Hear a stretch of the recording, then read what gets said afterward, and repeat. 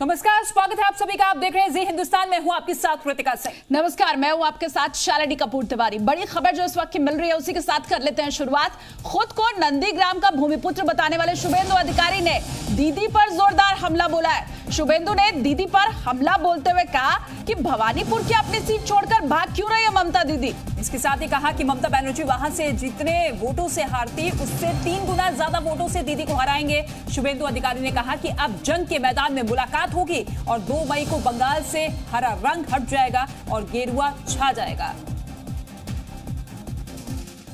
দেখা মুখ্যমন্ত্রী নিজের কেন্দ্র ছেড়ে পালাচ্ছেন কেন কারণটা কি হেরে যাবেন তো তো ওখানে যা ভোটে হারতেন আমরা তার থেকে তিন গুণ ভোটে এখানে হারাবো লড়াইয়ের ময়দানে দেখা হবে আর দু তারিখে গণনার দিন আমরা সব সবুজ আবির সরিয়ে গেরুয়া আবির ওড়াবো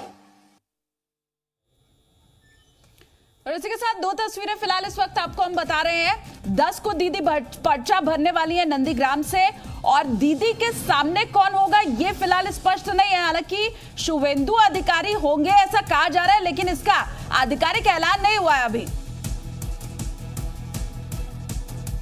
और नंदीग्राम में बंग की जंग का सबसे सुपरहिट मुकाबला होने वाला है। दीदी ने नंदीग्राम सीट से 10 मार्च को पर्चा भरने का ऐलान कर दिया है। अब नंदीग्राम में दीदी के सामने बीजेपी का योद्धा कौन होगा, इसका पता आज शाम तक चल जाएगा।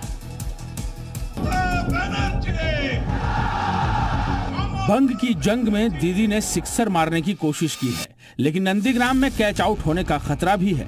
हालाँकि अभी तक बीजेपी ने नंदीग्राम के महायोद्धा का ऐलान नहीं किया है लेकिन बीजेपी ताल ठोक कर कह रही है कि अब की बार नंदीग्राम में दीदी को 100 फ़ीसदी हराएँगे।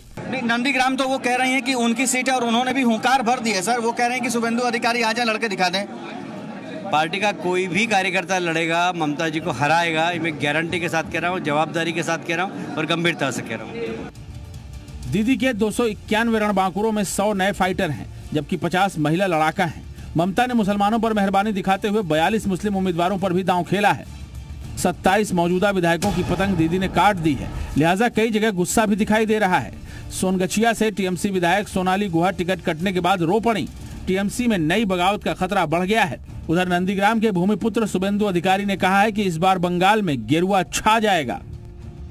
দেখা মুখ্যমন্ত্রী নিজের কেন্দ্র ছেড়ে পালাচ্ছেন কেন কারণটা কি হেরে যাবেন তো তো ওখানে যা ভোটে হারতেন আমরা তার থেকে তিন গুণ ভোটে এখানে হারাবো লড়াইয়ের ময়দানে দেখা হবে আর দু তারিখে গণনার দিন আমরা সব সবুজ আবির সরিয়ে গেরুয়া আবির ওড়াবো दो मई को दीदी जीत की हैट्रिक बनाने का ख्वाब देख रही हैं लेकिन बीजेपी का दावा है कि इस बार बंग की जंग में दीदी का हिट विकेट होना तय है ब्यूरो रिपोर्ट, जी मीडिया। और उधर दीदी के दल में टिकट बंटवारे से नाराज़ नेताओं ने दंगल करना अब शुरू कर दिया है। आपको बता दें कि दक्षिण चौबीस परगना के भांगुर में टीएमसी नेता राहुल इस्लाम को टिकट नहीं दिए जाने से नाराज़ समर्थकों ने जमकर बवाल काटा और पार्टी ऑफ़िस के बाहर जमकर तोड़फोड़ सड़क पर टायर और लकड़ियाँ जला करके आग भी लगा दी गई। तस्वीरें इस वक्त हम आपको दिखा रहे हैं किस तरह से वहाँ पर बड़ी संख्या में कार्यकर्ता उमड़े। और आप देखिए, तस्वीरों में आपको धुआँ उठता हुआ दिखाई दे रहा है। ये टायर जला करके सड़क के ऊपर आग लगाई गई है। देखिए तस्वीरें।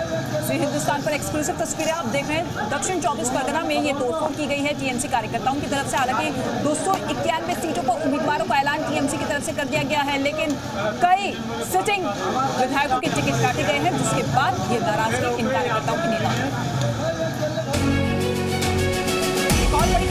दें लिस्ट जारी होने के बाद टीएमसी कोर कमेटी के सदस्य और पार्टी प्रवक्ता दिनेश बजाज ने पार्टी छोड़ने का ऐलान कर दिया है।